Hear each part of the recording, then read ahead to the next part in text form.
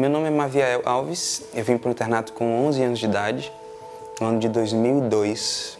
Foi um dos anos mais complicados da minha família e o internato veio como uma solução, como um bálsamo. Fiz o ensino fundamental, fiz o ensino médio, cursei o curso de teologia aqui no Seminário Adventista é, do campus. Cursei também História na cidade próxima aqui de Cachoeira, na UFRB. E, e é isso, essa é a minha vida escolar, toda passou pelo internato. Os meus amigos de hoje, da minha fase adulta, são os amigos que eu fiz na época do internato. As pessoas com quem eu posso contar nas horas mais difíceis são as pessoas com quem eu contei nas horas difíceis do internato. As melhores experiências da minha vida e os melhores anos da minha vida até hoje eu vivi no internato da Faculdade de Adventista da Bahia. Então, assim, é uma experiência que eu gostaria que meu filho tivesse. Quando você diz assim, ah, eu estudei internato, quem é de fora diz assim, ah, caramba, você estava preso lá, você fez alguma coisa de errado. não, internato não é isso.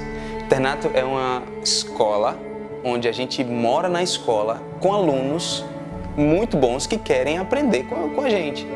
Então, assim, é, os quartos são excelentes, não existe prisão. Outra, outras pessoas dizem assim: ah, e a comida? A comida é excelente, o restaurante do internato é um dos melhores restaurantes que eu já tive a oportunidade de frequentar. Há uma, uma quantidade enorme de saladas, de frutas, de comidas, de pratos. É, há um chefe muito eficiente que trabalha para o internato todos os dias, formulando pratos muito bons. Então, assim, é, é, comida é excelente, existe liberdade, muito mais do que na cidade. No internato você pode ir para a quadra quando quiser, caminhar no campus quando, quando for o momento apropriado para isso, ir na piscina, ir na sauna, ir na academia. Quem mora em apartamento não pode fazer isso, dada a violência das cidades por aí. Então, é, é, um, é um desses mitos que eu gostaria de desmistificar. Internato na prisão é liberdade, de verdade.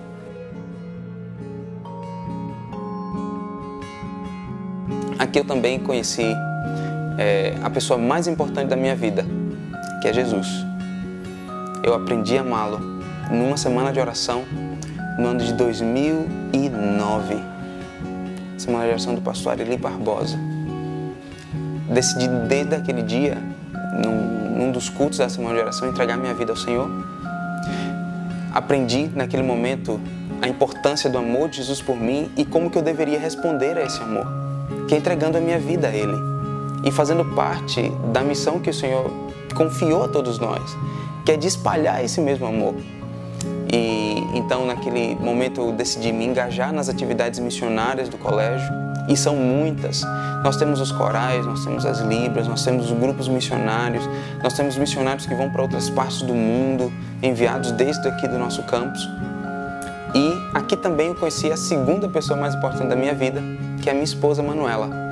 Ela veio para o campus para ser voluntária nos conhecemos aqui, nos apaixonamos, nos casamos, é, trabalhamos aqui por um período também na capelania do Colégio Adventista da Bahia, quando Deus achou por bem transladar-nos daqui para Hong Kong, na China, outra parte do mundo, onde a gente tem trabalhado para compartilhar o Jesus que eu conheci aqui, no internato, na Faculdade Adventista da Bahia. Uma outra coisa que as pessoas dizem é que, ah, é muito caro. E não. O meu pai é de classe média baixa. E existe uma série de, de, de, de, de planos e de, e de maneiras é, das famílias terem acesso a proporcionar essa experiência única aos seus filhos. Então, eu não sou rico, nem acho que ser, mas eu estudei no internato e foi a experiência mais rica da minha vida.